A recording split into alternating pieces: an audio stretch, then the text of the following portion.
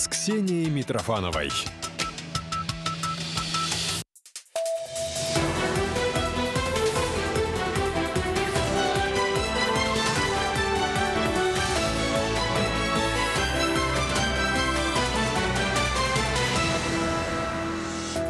Здравствуйте, это «Несей новости» в студии Ксения Митрофанова. И начале коротко главная тема выпуска. Вот мы стоим тут, все давимся. За полтора часа вот от двери я дошел сюда. За полтора часа. В духоте и тесноте в Норильске люди часами стоят в очередях за медицинскими справками. А он уже ехал прямо в этот момент. В тот момент, когда телегу вывернули. То есть не успел ничего, ни тот, ни другой ничего сделать. Жуткая авария на трассе. Водителя иномарки убил оторвавшийся от КАМАЗа прицеп с зерном. Когда вот заметил, что вода теплая стала, я даже не подумал, что там такое может быть. Тепленькая пошла. На станции Минина вода в колодцах дачников внезапно стала горячей. В дальнейшем небольшое похолодание, ну, все равно на- дневная температура будет положительная. Погода шепчет. Аномальный плюс и первый дождь обещают синоптики в эти выходные.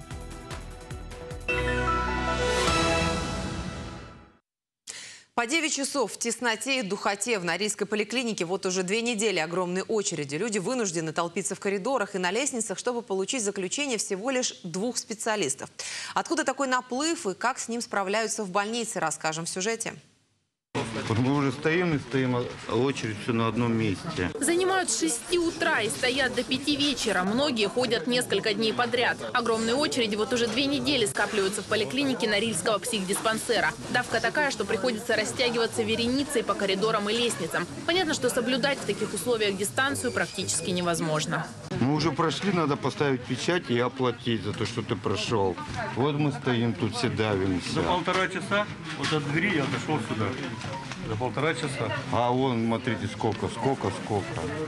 Большинство из посетителей проходят медосмотр по требованию работодателя и часами простаивают в тесноте и духоте, чтобы получить справки только от двух специалистов – нарколога и психиатра.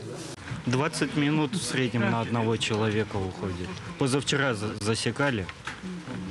По 20-30 минут один человек обслуживается. Сейчас деньги 3000 отдал, кто-то больше платит. Услуг никаких. Вот, посмотрите, полюбуйтесь, как у нас обслуживают нас. Специалисты поликлиники просто не справляются с таким количеством людей. Например, квитанции за платный медосмотр выдает только одно окно. У нас два кассира. Один находится в отпуске. Когда неделю назад у нас обострилась эта ситуация, мы, администрация приняла э, решение о возможной отзыве. А, Но у нас крайне сервис. Э, Этот человек находится на материке, именно на территории НПР. Отзыв ее возможен 29 числа. Сейчас поликлиники пытаются сделать все возможное, чтобы уменьшить очереди на платный медосмотр. Во врачебной комиссии ввели дополнительных специалистов. Тем, у кого есть возможность, предлагают записаться на прием после 29 марта. Также, чтобы не простаивать часами у окна кассы, можно оплатить услуги по реквизитам банка, правда, с дополнительными процентами. Евгения Шелковникова, Виктория Комиссарова и Юрий Толстов. Енисей. Новости. И вот что сказали об очередях в Норильской поликлинике специалисты Минздрава. В связи с перемещением порядка полутора тысяч человек с одного промышленного предприятия в другое промышленное предприятие, эти люди нежданно-негаданно, незапланированно все пошли проходить профосмотры. И пройти им этот профосмотр надо до 1 апреля текущего года. Сейчас, когда те незапланированные уйдут с понедельника в другое лечебное учреждение, то в психоневрологическом диспансере будет проходить по плану и никаких очередей там не будет. Исполнять обязанности главного врача Краевого онкоцентра будет Руслан Зуков. Ранее он работал заведующим кафедрой онкологии в Красноярском медицинском университете.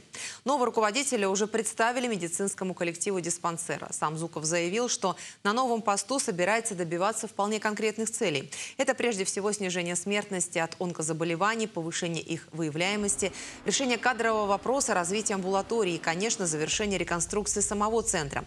Я напомню, предыдущий главврач больницы Андрей Модестов переведен на новую должность. Теперь он советник губернатора края. Понятно, что исполнение обязанностей главного врача такого крупного, социально значимого учреждения – это, безусловно, очень большая ответственность. Я это четко осознаю. Вопрос о страхах, он вполне уместен, но тем не менее, поймите, я в этом учреждении работаю 15 лет, и это мой коллектив, э, я знаю здесь абсолютно всех, поэтому действительно это вселяет некоторую уверенность и оптимизм. Жуткая авария на трассе в Канском районе. Прямо на ходу у груженного КАМАЗа отцепился прицеп с зерном. Он выкатился на встречку, перегородил дорогу как раз в тот момент, когда по ней на приличной скорости шла иномарка. Удар был настолько сильным, что переднюю часть кроссовера смяло в гармошку. Водитель, мужчина 64 лет, погиб на месте. Его пассажир с тяжелыми травмами доставлен в больницу. Очевидцы говорят, все случилось за считанные секунды. Телега просто выскочила, оторвалась, понимаю, от фаркопа и вышла, вышла на встречную полосу. А он уже ехал прямо вот. Тот момент, когда телега вывернула. То есть не успел ничего, ни тот, ни кто другой ничего сделать. После столкновения с иномаркой прицеп зацепил и машину скорой помощи. Внутри неотложки никого, кроме водителя, не было, он не пострадал. Сейчас полицейские выясняют, что же все-таки произошло и почему. Они осмотрели КАМАЗ и пришли к выводу, что, скорее всего, неисправно было крепление самого прицепа.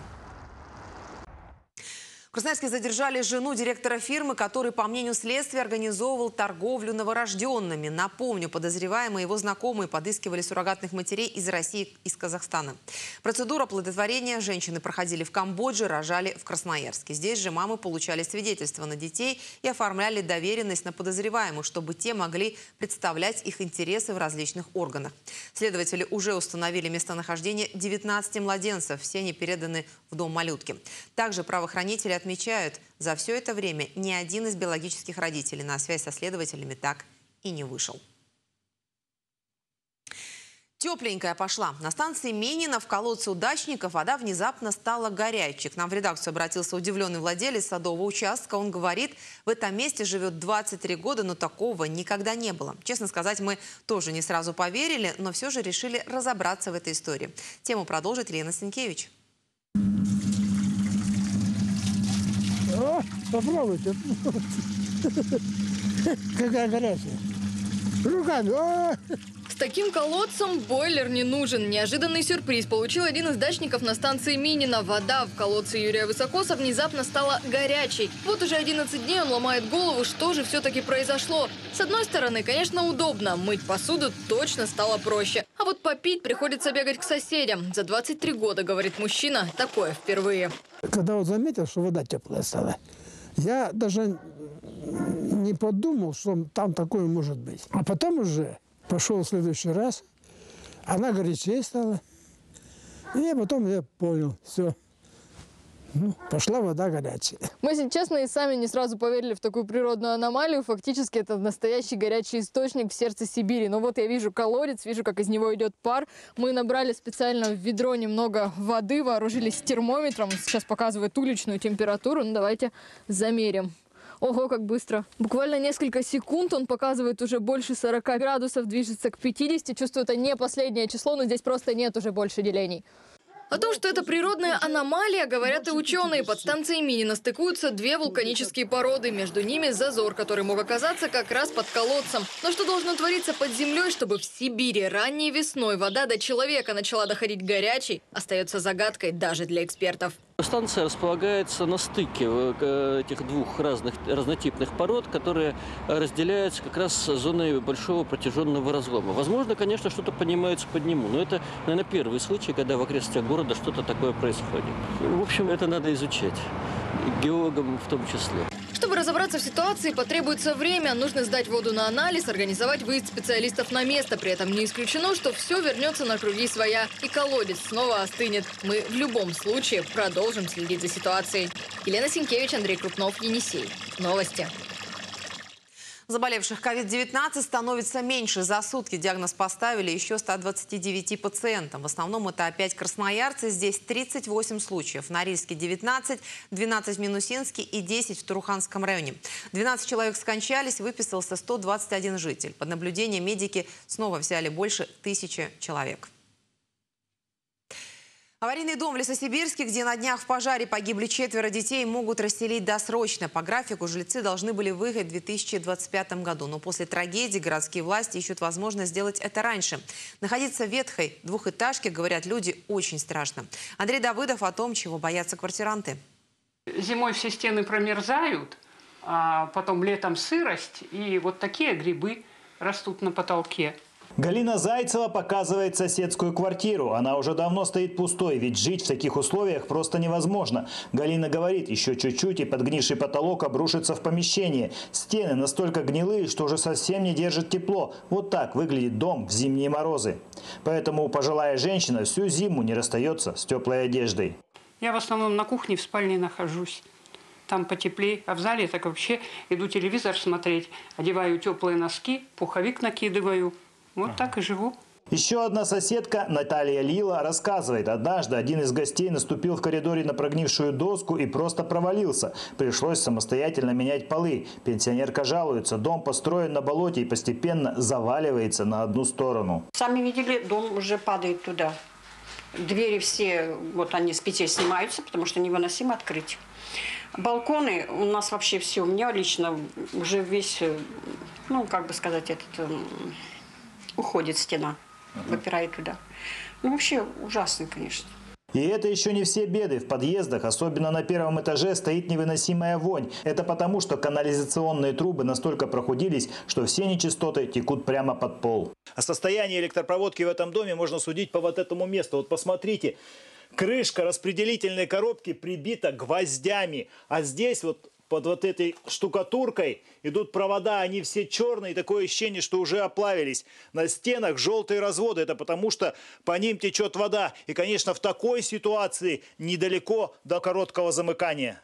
Естественно, что жители мечтают о переезде из аварийного дома в новое жилье. По графику это должно было произойти в 2025 году, но после страшного пожара, унесшего жизни четырех детей, городские власти обещают этот процесс ускорить. Мы ищем, я думаю, мы найдем варианты по внеочередному переселению.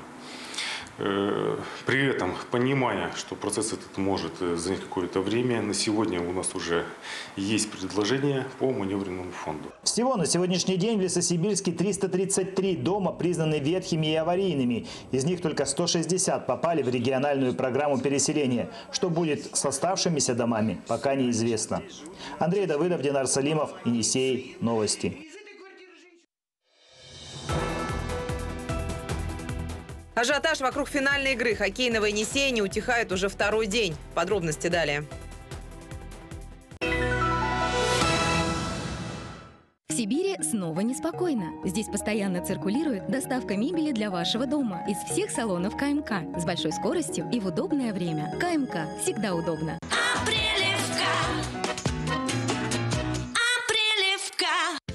Вы спросите меня, где я? Я в салоне оптики Грант. Просто здесь вторая оправа подарок любого бренда. Вторая оправа в подарок в салонах оптики Грант. Товарищ, слушай и запоминай. Мебель, доступную каждому, на Калинина 43 покупай. Весь ассортимент не перечесть. Цена минимальна, а это нужно учесть. Все купи на Калинина 43. Современному человеку важно быть финансово грамотным. Как начать свой бизнес, сберечь и приумножить свои средства, не попасть на удочку финансовых мошенников, взять кредит и не увязнуть в долгах? Ответы на эти вопросы нужно знать. Налоги, пенсии, господдержка и другие темы вы найдете на сайте Министерства финансов Красноярского края. Повышайте свою финансовую грамотность легко и быстро. Мои финансы 24.рф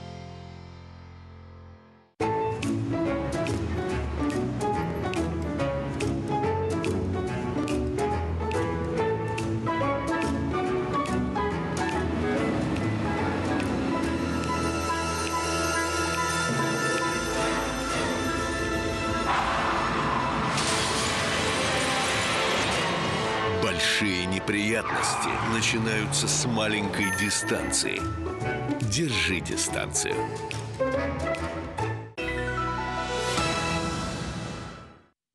Ажиотаж вокруг финальной игры хоккейного Енисея стихает вот уже второй день. За дело взялись перекупы. Билеты, которые в кассе отдавались за 500 рублей, в интернете продают в три, а то и в четыре раза дороже. Но даже такая покупка в три дорога вовсе не гарантия, что вы попадете на матч.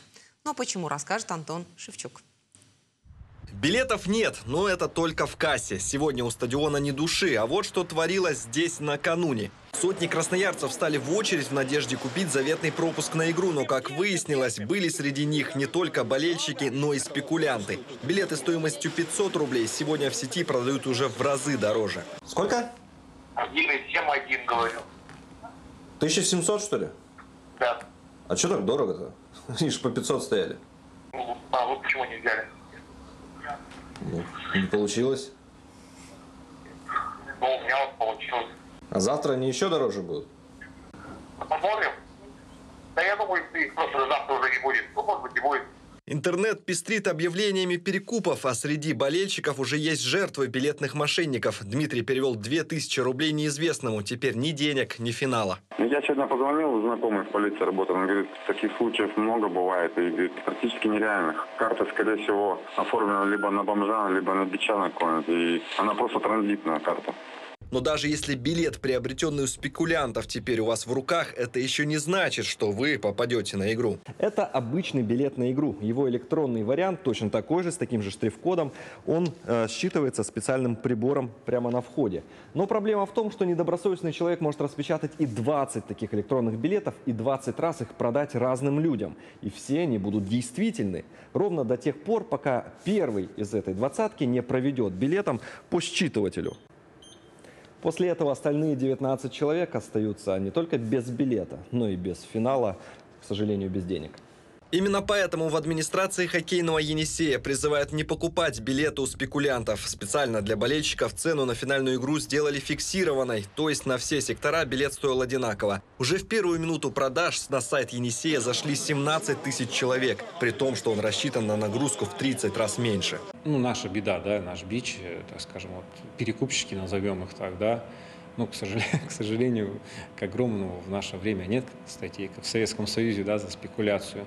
Здесь только остается уповать на совесть какой-то людей, да, но не более. Клуб переживает э, вот эту ситуацию именно со спекулянтами. А если вы остались без билета на финальную игру, вы сможете увидеть, как Енисей борется за чемпионский кубок в прямом эфире нашего канала. Начало матча в 3 часа дня в воскресенье. Смотрите «Енисей» на «Енисее» и болейте за наших. Антон Шевчук, Алексей Гусев, Енисей. Новости. Так, я еще раз напомню.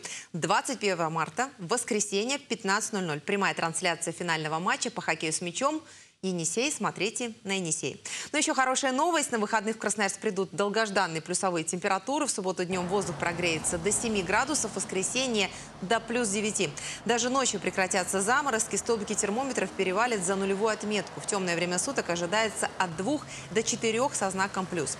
Ближе к воскресенью циклон принесет в столицу края сильный ветер с порывами до 18 метров в секунду. Ночь на понедельник придут и осадки, первый весенний дождь, местами переходящий в мокрый снег.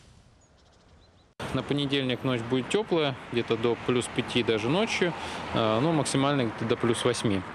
В дальнейшем небольшое похолодание, ну, все равно дневная температура будет положительная, около 0 плюс 5 градусов. Э, в южных районах до плюс 8. Если же вы планируете прогуляться в Красноярском экопарке, для вас важная информация. До конца следующей недели приезжать в Гремячую Гриву горожанам рекомендуют на общественном транспорте. Дело в том, что на время первенства мира по сноуборду и фристайлу парковки около визит-центров ограничены и заняты болельщиками. Ну а те машины, которые оставляют не по правилам, эвакуируют. Так что учитывайте эти временные изменения. Штукатурка отваливается, с потолка капель, а на стенах зеленая плесень. В таком удручающем состоянии школа в поселке Танзыбей. Вот уже несколько лет каждую весну ученикам приходится двигать парты в поисках сухого места. А родители, педагоги уверены, зданию нужен срочный ремонт. Все своими глазами увидела Ольга Максюшина.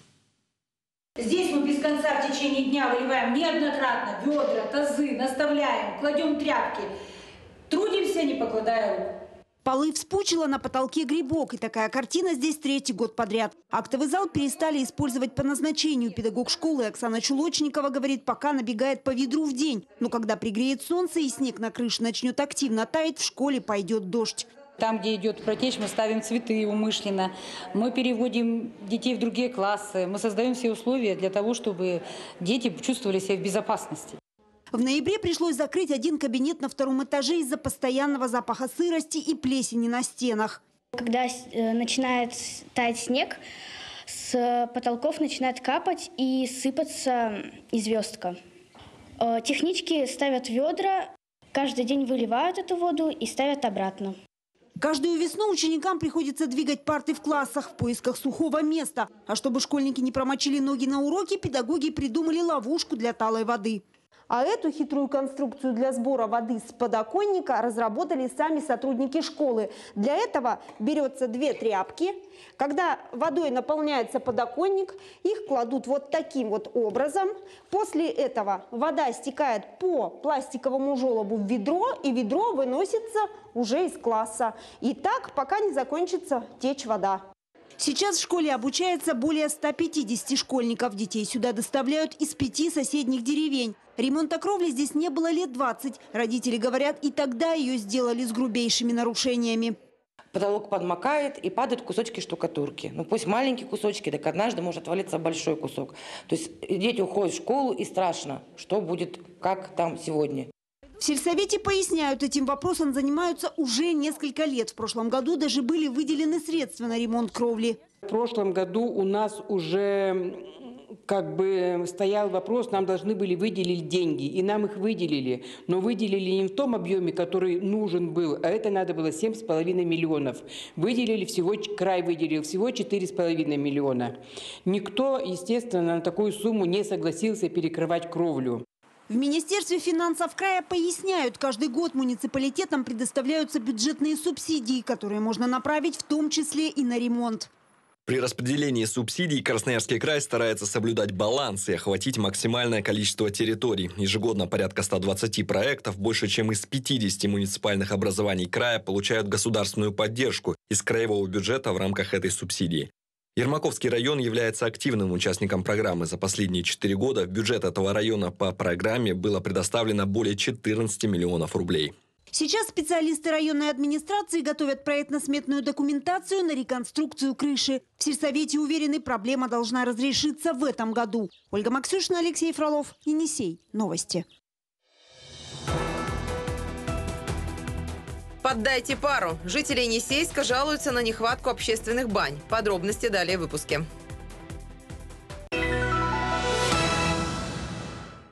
Внимание! Ангарский гипсокартон всего 289 рублей. Водолей. Готовимся к весне! Качественные теплые куртки до 72 размера уже на московской ярмарке. По оптовым ценам. Матросова 18 и Авиаторов 5. При боли в спине и суставах адрес помощи улица Баграда 132. Диагностика, блокирование боли с использованием ультразвуковой навигации, лечение грыж, протрузий без операции, комплекс процедур для здоровья позвоночника от команды профессионалов.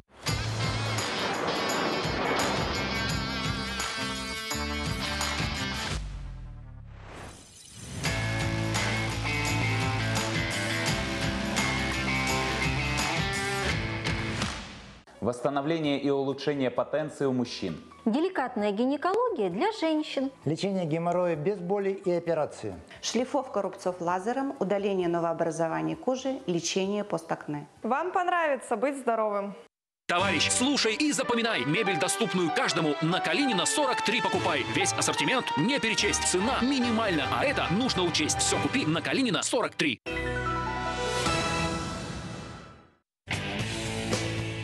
Впервые в Красноярске. Финал чемпионата России по хоккею с мячом. Наш Енисей скрестит клюшки с московским «Динамо». Два самых титулованных клуба растопят лед в борьбе за звание сильнейшего клуба страны. Смотрите «Енисей» только на «Енисее». Прямая трансляция финального матча уже в это воскресенье, 21 марта. Начало в 15.00. Для красноярцев строят умный город, но не из бетона или кирпича, а в виртуальном пространстве. Это взаимодействие информационных сервисов, аналитика данных, систем видеонаблюдения, карты местности и много всего еще, что нельзя потрогать, но до чего легко добраться, например, включив смартфон или компьютер. Такие сервисы будут направлены на совершенствование цифровой платформы города, создание безопасных и комфортных условий жизни граждан. Цифровое будущее сегодня обсуждали за круглым столом, где встретились представители власти и бизнеса. Они делились наработками и предлагали свои ноу-хау. Одна из идей – разработка Сбера – система, которая на основе больших данных может анализировать портрет жителя в каждом населенном пункте на основании транзакций банковских карт. Мы располагаем самыми большими данными, безличными данными в стране. Мы также предлагаем навигационные сервисы. Это подложка для различных карт, это оптимизация маршрутов э, транспортной сети для городов, для края. Вот, в том числе данные, которые могут быть востребованы и спецсервисами, э, такие пожарные, медицина, когда необходимо проехать через придомовые территории. Вот огромное количество аналитики, которое есть сейчас у Сбера, оно позволяет сделать сервисы чуть удобнее. Сейчас э, в рамках э, федерального проекта по созданию платформы обратной связи мы запускаем отдельный раздел в активном гражданине по подаче обращений и жалоб, когда там неубранный мусор, э, дороги, не знаю, неубранный снег и прочее. Все эти заявления будут обрабатываться в электронном виде, и человек будет получать обратную связь. Ну и, собственно, наша задача сделать так, чтобы взаимодействие было более быстрым и проблемы решались быстрее и эффективнее. Дело-то житейское. В Енисейске не хватает общественных бань. Старое двухэтажное здание закрыли еще несколько лет назад. И сейчас в городе, где большая часть населения живет в неблагоустроенных квартирах, только одно место, где можно помыться. Вот только помещение совсем крошечное и вместить всех желающих просто не может. Звинится ли дело с мертвой точки, знает Андрей Давыдов. Это только у нас в Сибири такое делается. Галина Тесленко живет в однокомнатной неблагоустроенной квартире. Раз в неделю пожилая женщина устраивает банный день. Натапливает пожарче печь, кипятит несколько кастрюль горячей воды. Летом, когда тепло, вытаскивает все в сарай и там принимает водные процедуры. А зимой мыться приходится в тесной кухоньке, прямо возле порога. Сюда табуреточку, тазик на табуреточку, сюда одно ведро, сюда второе ведро. Сюда это самое. Тут дров нету, сюда ванну ставлю. Вот таким образом я моюсь. Там льется, там льется, там льется. Условий-то нет никаких. Зимой попробуй моешься, пока моешься и замерзнешь. Галина говорит, что раньше проблем не было. В городе работала большая общественная баня. Помыться и погреться в парилке сюда приезжали не только енисейцы, но и жители ближайших поселков. Но несколько лет назад ее здание признали аварийным. Баню закрыли, и сейчас от нее остались только воспоминания. Раньше, когда мы сюда приходили, в бане было чисто, в бане было аккуратно, баня работала. Были два зала, мужской и женский, внизу женский, наверху мужской. Были отдельно кабинки для семейных. Сейчас в Енисейске работает только одна общественная баня. Она очень маленькая и работает всего три дня в неделю. Для города, где большая часть населения живет в неблагоустроенном жилье, этого, конечно, недостаточно. Ну, конечно, много народу ходит, баня маленькая всего на 10 человек. Ну да, много, бывает и по 80 человек, по 70, по 80 за день проходит. Городские власти проблему признают. Для строительства банно-прачечного комплекса они уже нашли земельный участок, где есть вся необходимая инфраструктура, свет, вода и, самое главное, возможность подключиться к коллектору. Земельный участок будет э, передан на инвестиционную площадку Красноярского края. Администрация города готовится ряд нормативно-правовых документов. Это в том числе документы по льготам и налогах для инвесторов э, на нашей территории. Дело осталось за малым – найти желающих организовать в Енисейске этот коммунальный бизнес. Потенциальные инвесторы уже есть, но пока на месте будущего банно-прачечного комплекса только поросший тальником пустырь. Андрей Давыдов, Динар Салимов, Енисей. Новости. И на этом наш выпуск завершен. С вами была Ксения Митрофанова. Всего доброго. До свидания.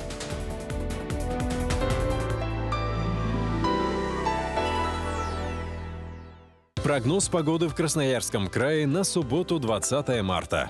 В Туруханском районе на юге Таймыра и Фавенкии облачно. На части территории снег, местами с дождем. Ночью от минус 7 в Байките до минус 40 градусов в Хатанге. Дневная температура от 0 в Ванаваре до минус 32 в Хатанге. В северной группе районов Красноярского края облачность. Повсеместно пройдет небольшой снег с дождем. Ночная температура до минус 7, днем плюс 2, плюс 3.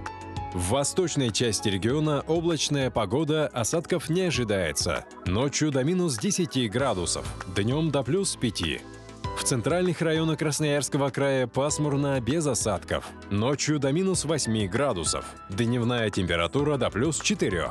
В западной группе облачность. Осадков не прогнозируют. Ночная температура от минус 5 до минус 12 градусов. В светлое время суток от минус 3 до плюс 3.